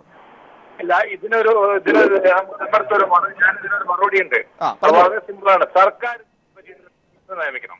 ആയിരത്തോളം ആണ് സ്വയാശ്രയ വിദ്യാലയങ്ങൾ നഴ്സിംഗ് എഞ്ചിനീയറിംഗ് മെഡിസിൻ മറ്റേ ആർട്സ് ആൻഡ് സയൻസ് ഇവിടെ സാങ്ഷൻ ആയിട്ടുള്ളത് കഴിഞ്ഞ പത്ത് പന്ത്രണ്ട് കൊല്ലമായിട്ട് ഈ കോളേജുകളുടെ ക്വാളിറ്റി അതാണ് നാക് എയ്ഡഡ് കോളേജുകൾക്ക് ഇവിടെ നാക് അക്രഡിഷൻ എന്ന് പറയുന്ന സംഭവമുണ്ട്. അപ്പൊ നാക്ക് അക്രഡിഷൻ എ ബി സി ഇങ്ങനെയാണ് പോകുന്നത്. അക്രഡിഷൻ ഇല്ലാത്തവർക്ക് യു ജി സി ഫണ്ടൊന്നും കിട്ടൂല. അതേമാതിരി ഇവിടെ സ്വയാശ്രയ വിദ്യാഭ്യാസ രംഗത്ത് ഒരു അക്രഡീഷൻ കൗൺസിൽ ഉണ്ടാക്കിയിട്ട് ഇതിൽ വീഴ്ചകൾ വരുത്തുന്ന സ്ഥാപനങ്ങൾ റദ്ദാക്കി കളയാനേ പറ്റുള്ളൂ. ഒരു സമയം സമയബന്ധിതമായിട്ട് റദ്ദാക്കാം ഒറ്റയടിക്ക് റദ്ദാക്കണമെന്നില്ല. പക്ഷെ ഇത്രയധികം വിദ്യാഭ്യാസ സ്ഥാപനങ്ങൾ ആവശ്യമില്ല. ഒന്ന് ക്വാളിറ്റി ഇല്ലാത്ത അധ്യാപകർ ക്വാളിറ്റി ഇല്ലാത്ത വിദ്യാഭ്യാസ സ്ഥാപനങ്ങൾ ക്വാളിറ്റി ഇല്ലാത്ത വിദ്യാർത്ഥികളും മനസ്സിലായി? പണം മാത്രം കൊടുത്തുകൊണ്ട് എഞ്ചിനീയറിംഗും മെഡിസിനും ചേർന്നിരിക്കുന്ന ആൾക്കാർ ഒരുപാടില്ല ഇവിടെ? അപ്പൊ അതിന് നമുക്കൊരു പരിഹാരം എന്നോ എന്താണെന്ന് ചോദിച്ചിട്ടുണ്ടെങ്കിൽ ഒരു അക്രഡീഷൻ കൗൺസിൽ ഉണ്ടാക്കിയിട്ട് അക്രഡീഷൻ കിട്ടാത്തവർക്ക് യാതൊരു തരത്തിലും സൗകര്യം ചെയ്ത് കൊടുക്കൂല അല്ലെങ്കിൽ അവരെ ഡിസപ്പിനേറ്റ് ചെയ്യും അവിടെ താങ്കൾ പറഞ്ഞൊരു പോയിന്റ് ഉണ്ട്. അതായത് ഇത്രയധികം സ്ഥാപനങ്ങൾ ആവശ്യമില്ല. അവിടെ ഒരു പ്രശ്നം വരുന്നുണ്ട്. അതായത് ഈ സ്ഥാപനം തന്നെ അനുവദിച്ചത് നമുക്കറിയാം. ആ സാമുദായികമായ ചില സംഘടനകളുടെ അല്ലെങ്കിൽ ആ താല്പര്യങ്ങളെ തൃപ്തിപ്പെടുത്താൻ വേണ്ടി അനുകൂലമായി ചെയ്തു കൊടുത്ത ഒരു ഒരു ഒരു നടപടിയാണ് ഈ സ്ഥാപനത്തിന്റെ പിറവിക്ക് കാരണമായത്. അപ്പോൾ അത്തരത്തിലുള്ള നടപടികളല്ലേ ആദ്യം അവസാനിപ്പിക്കേണ്ടത് ശ്രീ ഫസൽ ഗഫൂർ? അല്ല അതിപ്പോ ഇതിലിപ്പോ ഞാൻ പറഞ്ഞ സാമുദായികം മാത്രമല്ല ആയിരം സാധനം കൊടുത്താൽ സാമുദായികം വളരെ കുറവാണ്. അതൊരു തെറ്റായ ധാരണയാണ് ഏതൊരു മേഖലയിലാണ് സാമുദായിക സംഘടനകളുള്ളത് ഇതിലിപ്പോ ധാരണ എൻ എസ് എസിന് സാമുദായികമായ മറ്റേ എൻ എസ് എസിന് കോളേജ് തന്നെ ഇല്ലല്ലോ. എഞ്ചിനീയറിംഗ് കോളേജും ഇല്ല മെഡിക്കൽ കോളേജും ഇല്ല ആ, ഒന്നുമില്ല. എസ് ടിക്ക് ഏതാണ് ആർട്സ് ആൻഡ് സയൻസ് കോളേജ് ഉണ്ടെന്ന് മാത്രമേ ഉള്ളൂ. സാമുദായികമല്ല കേട്ടോ വിഷയം സാമുദായികം എണ്ണ. ഇവിടെ വെറും കച്ചവടക്കാരനാണ് വന്നിരിക്കുന്നത്. അവിടെയാണ് പ്രശ്നം. സാമുദായിക സംഘടനകൾക്ക് അറ്റ്ലീസ്റ്റ് കുറച്ചെങ്കിലും പ്രതിബദ്ധത ഉണ്ട്. സമുദായ സംഘടനകൾക്ക് ഇലക്ഷൻ ഉണ്ട്. അവരുടെ സമുദായത്തോടെങ്കിലും അവർ മറുപടി വരേണ്ടായിട്ടുണ്ട് ഇതങ്ങനെയല്ല വെറും കച്ചവടക്കാരാണ് വന്നിരിക്കുന്നത്. അപ്പോ ആ കച്ചവടക്കാരെ സംബന്ധിച്ചിടത്തോളം അവരിട്ട പഴക്കം റിട്ടേൺ കിട്ടിയില്ലെങ്കിൽ അവരിത് കൂട്ടിപ്പോക്കാൻ ഉദാഹരണമായിട്ട് കൊല്ലത്ത് മൂന്ന് എഞ്ചിനീയറിംഗ് കോളേജ് നടത്തുന്ന ഒരു കച്ചവടക്കാരൻ അല്ലേ അദ്ദേഹം ഒരു Muslim League M L A ആയിരുന്നു. അദ്ദേഹം അഞ്ച് അണ്ടി കച്ചവടമൊക്കെ നിർത്തിയിട്ട് അദ്ദേഹത്തിന്റെ മൂന്ന് അണ്ടി ഫാക്ടറി അവിടെ എഞ്ചിനീയറിംഗ് കോളേജ് ഇപ്പൊ അവിടുത്തെ സ്ഥിതി എന്താണ്? പത്ത് ശതമാനം പോലും വിദ്യാർത്ഥി അവിടെ ഇല്ല. എന്നാൽ ആ കോളേജ് അവിടെ തുടരുകയാണ്. ഈ തരത്തിലുള്ള കോളേജുകൾ അടിച്ചു പൂട്ടണം എന്നുള്ളതാണ് എന്റെ അഭിപ്രായം. തീർച്ചയായിട്ടും. വളരെയധികം നന്ദി ശ്രീ ഫസൽ ഗഫൂർ ഈ അവസരത്തിൽ പ്രതികരിച്ചു ടി പി പ്രശാന്ത് ഒരിക്കൽ കൂടി ക്ഷമിക്കണം. പ്രശാന്തിലേക്ക് വരാം. വളരെ വേഗത്തിൽ തിരികെ വരാം. Poonjar S N B college ചെയർമാനെ വിദ്യാർത്ഥികളും അധ്യാപകരും രക്ഷിതാക്കളും തടഞ്ഞു വെച്ചിരിക്കുന്നു. എസ് എൻ ഡി പി നേതാവ് കൂടി അഡ്വക്കേറ്റ് സന്തോഷ് കുമാറിനെയാണ് തടഞ്ഞു വെച്ചിരിക്കുന്നത്. കോളേജിന് വേണ്ടി കെട്ടിടം പണിയാനായി ഭീമമായ തുകയടക്കം പിരിച്ചിരുന്നു. എന്നാൽ ഇതുവരെ യാതൊരുവിധ നടപടികളും ഉണ്ടായിട്ടില്ല. ഇപ്പോൾ എം ജി യൂണിവേഴ്സിറ്റിയുടെ അഫിലിയേഷനും നഷ്ടമായിരിക്കുന്ന സാഹചര്യമാണ് ഇപ്പോൾ നിലവിലുള്ളത്. ടി പി പ്രശാന്ത് ഒരിക്കൽ കൂടി ചേരുന്നത് പ്രശാന്ത് ഇത്തരത്തിൽ അവിടുത്തെ വിദ്യാർത്ഥികളടക്കം നമ്മളോട് സംസാരിച്ചു. അവർ പറയുന്നത് അവർ പിന്നീട് ഈ കാര്യം ചോദിച്ചു ചെല്ലുമ്പോൾ ചില അവ്യക്തമായ മറുപടികൾ നൽകുക എന്തെങ്കിലുമൊക്കെ പറഞ്ഞ് തൽക്കാലത്തേക്ക് സമാധാനിപ്പിച്ച് മടക്കി അയക്കുക എന്നുള്ളതൊക്കെയാണ്. സത്യത്തിൽ ഈ സന്തോഷ് കുമാർ ഒരു സ്വകാര്യ തന്റെ സ്വന്തം സ്ഥാപനം പോലെ കൈയടക്കി വച്ചിരിക്കുകയായിരുന്നോ ഈ S N college. Manu S N D P യോഗത്തിന്റെ പേര് പറഞ്ഞാണ് ഈ ഒരു കോളേജിന്റെ അഫിലിയേഷൻ തന്നെ നേടിയെടുക്കുന്ന കാര്യത്തിലുള്ള ശ്രമങ്ങൾ നടന്നത്. ഇത് ശ്രീരാമകൃഷ്ണ ആ, പരമഹംസദേവ ചാരിറ്റബിൾ ട്രസ്റ്റിന്റെ കീഴിലാണ്. ഈ ട്രസ്റ്റിനെ സ്വകാര്യ സ്വത്താക്കി വച്ചിരിക്കുന്നു എന്നതിനെ കുറിച്ച് വ്യാപകമായിട്ടുള്ള പരാതികളും എല്ലാം തന്നെ കഴിഞ്ഞ സർക്കാരിന്റെ കാലത്തിലൊക്കെ ഉയർന്നപ്പോൾ അദ്ദേഹത്തെ സഹായിക്കുന്ന ഒരു സമീപനമായിരുന്നു കഴിഞ്ഞ കാലങ്ങളിൽ ഉണ്ടായിരുന്നത്. അതിനെതിരെ പാലായിലുള്ള ശ്രീനാരായണീയ സമൂഹം അടക്കം വളരെ എതിർപ്പുമായി രംഗത്ത് വന്നിരുന്നു. അവിടുത്തെ S N D P director board member പ്രത്യേകിച്ച് ആർ ശങ്കറിനൊപ്പം എല്ലാം തന്നെ പ്രവർത്തിച്ചിട്ടുള്ള S N D P director member ഗോപാലന്റെ നേതൃത്വത്തിനടക്കം ഇതിനെ ചോദ്യം ചെയ്യുകയും എസ് എൻ ഡി പി നേതൃത്വത്തിനടക്കം ഇത് സംബന്ധിച്ച് കത്തുകൾ അയക്കുകയും ചെയ്തപ്പോൾ അതിനെ തൃണവൽക്കരിച്ചുകൊണ്ടുള്ള സമീപനമാണ് എസ് എൻ ഡി പി യോഗത്തിന്റെ ഭാഗത്തുനിന്നും ഉണ്ടായത്. സന്തോഷ് നടത്തുന്ന അല്ലെങ്കിൽ സന്തോഷ് എസ് എൻ ഡി പിയുടെ പേരിൽ ഈ പാല കേന്ദ്രീകരിച്ച് മീനച്ചിൽ കേന്ദ്രീകരിച്ച് വലിയ തരത്തിലുള്ള ഒരു കൊള്ള നടത്തുന്നു എന്നുള്ള ആരോപണം തന്നെ ശ്രീനാരായണ വിശ്വാസ സമൂഹം ഉയർത്തിയിരുന്നു. ഈ പരാതികളെല്ലാം തന്നെ അവഗണിക്കുകയും ഒടുവിൽ ഇത് ചില സ്വകാര്യ സ്വത്തായി മാറുന്ന സ്ഥിതിയിലേക്കാണ് ഇത് പോയിട്ടുള്ളത്. പ്രത്യേകിച്ച് ഈ കോളേജിന്റെ സ്ഥലം വാങ്ങുന്നതുമായി ബന്ധപ്പെട്ട് നിരവധി വിവാദങ്ങൾ ഉണ്ടായിരുന്നു. കാണിച്ച സ്ഥലം പാലായിലെ ഒരു പൊതുസ്ഥലം കാണിക്കുകയും പിന്നീട് ഈ സ്ഥലം വാങ്ങിയതായി രേഖകൾ ഉണ്ടാക്കുകയും പിന്നീട് തുഷാർ വെള്ളാപ്പള്ളി അടക്കമുള്ളവർ പങ്കെടുത്ത ഒരു യോഗത്തിൽ വെച്ച് ഈ സ്ഥലം വീണ്ടും വിറ്റ് മറ്റൊരു സ്ഥലം വാങ്ങാൻ തീരുമാനമെടുക്കുകയും ചെയ്യുന്ന തരത്തിൽ വ്യാജമായിട്ടുള്ള അല്ലെങ്കിൽ അത്തരത്തിലുള്ള രേഖകളെല്ലാം തന്നെ ഉണ്ടാക്കി പ്രത്യേകിച്ച് മിനിറ്റ്സ് അടക്കമുള്ള കാര്യങ്ങൾ ഉണ്ടാക്കിയിരുന്നു. ആ മിനിറ്റ്സിൽ ഒപ്പിട്ടത് തുഷാർ വെള്ളാപ്പള്ളിയാണ് എന്നുള്ളതും ഒരു ശ്രദ്ധേയമായിട്ടുള്ള കാര്യങ്ങളാണ്. അപ്പോൾ സന്തോഷ് കുമാർ നടത്തുന്ന തട്ടിപ്പിന് പിന്നിൽ ഇവിടെ എസ് എൻ ഡി പി നേതൃത്വത്തിന്റെ വലിയ കൈകൾ ഉണ്ട് എന്ന് തന്നെ വേണം വ്യക്തമാക്കാൻ. അത്തരത്തിലുള്ള ആളുകളുടെ ആശീർവാദത്തോടു കൂടി തന്നെയാണ് വലിയൊരു വിദ്യാഭ്യാസ കൊള്ളയ്ക്ക് സന്തോഷ് കുമാർ നേതൃത്വം കൊടുത്തതും ഒപ്പം എസ് എൻ ഡി പിയുടെ പേരിൽ പൈസ പിരിക്കുകയും ഒടുവിൽ ട്രസ്റ്റ് തന്റേതാക്കി തന്റെ സ്വകാര്യ സ്വത്തായി മാറ്റവും നടത്തിയ ശ്രമങ്ങളും സന്തോഷ് കുമാർ നടത്തിയിട്ടുള്ളത്. ഇതിനെതിരെ വ്യാപക പ്രതിഷേധങ്ങളാണ് ഉണ്ടായിട്ടുള്ളത് പ്രത്യേകിച്ച് കോളേജ് കെട്ടിടത്തിന്റെ ബ്രൗസറുകളിൽ വലിയ മനോഹരമായ ചിത്രങ്ങൾ അടിച്ചു വെച്ചുകൊണ്ട് അത്തരത്തിൽ ഉള്ളത് കാണിച്ചാണ് വിദ്യാർത്ഥികളെ അഡ്മിഷൻ അടക്കമുള്ള കാര്യങ്ങൾ നടത്തിയിട്ടുള്ളത്. എന്നാൽ ഒരു കോളേജ് ഒരു കോളേജ് നടത്തുന്നതിന് വേണ്ടിയിട്ടുള്ള അടിസ്ഥാനപരമായിട്ടുള്ള ചില കാര്യങ്ങൾ പ്രത്യേകിച്ച് അഞ്ചേക്കർ സ്ഥലം വേണം വിശാലമായ ഗ്രൗണ്ട് വേണം എന്നിങ്ങനെയുള്ള നിരവധി നിർദ്ദേശങ്ങൾ കോളേജിന്റെ അടിസ്ഥാന സൗകര്യങ്ങൾ സംബന്ധിച്ചിട്ടുള്ള യൂണിവേഴ്സിറ്റി അല്ലെങ്കിൽ യു ജി സി റൂൾസുകൾ ഇതെല്ലാം തന്നെ ലംഘിച്ചുകൊണ്ടായിരുന്നു കഴിഞ്ഞ സിൻഡിക്കേറ്റിന്റെ കാലത്ത് ഇതിന് അഫിലിയേഷൻ നൽകിയത് എന്നുള്ളത് ശ്രദ്ധേയമാണ്. അപ്പോൾ ഇതിൽ വലിയൊരു സാമ്പത്തികമായിട്ടുള്ള കച്ചവടം നടന്നിരിക്കുന്നു എന്ന് വേണം കരുതാൻ. ഒരു വിദ്യാഭ്യാസ കൊള്ളയാണ് ഇപ്പോൾ ഇവിടെ വെളിച്ചത്ത് വന്നിരിക്കുന്നത്. പ്രത്യേകിച്ച് ഇത്തരത്തിലുള്ള വിദ്യാർത്ഥികൾ വളരെ പ്രതീക്ഷയോടുകൂടി ആർട്സ് ആൻഡ് സയൻസ് കോളേജിൽ പഠിക്കാൻ വരുമ്പോൾ അവരുടെ കമ്പ്യൂട്ടർ ലാബ് സൗകര്യങ്ങൾ അടക്കമുള്ള കാര്യങ്ങൾ ചെയ്തു കൊടുക്കേണ്ടതുണ്ട്. ശരി ശരി. പ്രശാന്ത് നമുക്ക് വരും വാർത്തകളിൽ കൂടുതൽ വിശദാംശങ്ങളിലേക്ക് വേണ്ടി പ്രശാന്തിലേക്ക് എത്താം. ഇപ്പോൾ നമുക്ക് സമയപരിമിതി ചില ഇടവേളകൾ വളരെ വേഗത്തിൽ പോകേണ്ടിയിരിക്കുന്നു. തിരികെ വരാം. ഇടവേളയ്ക്ക് ശേഷം. മറ്റു ചില വാർത്തകളിലേക്ക് ജമ്മു കാശ്മീരിലെ ബന്ദിപ്പുരയിൽ തീവ്രവാദികളും സൈന്യവും ഏറ്റുമുട്ടി. ഒരു തീവ്രവാദിയെ വധിച്ചു. ഏറ്റുമുട്ടലിൽ ഒരു സൈനികന് പരിക്കേറ്റിട്ടുണ്ട്. ബന്ദിപ്പുരയിലെ പാറായി മഹല്ല ഹജിൻ മേഖലയിലാണ് ഏറ്റുമുട്ടൽ നടന്നത്. സംഭവത്തെ തുടർന്ന് പ്രദേശം സൈന്യം വളഞ്ഞിട്ടുണ്ട്.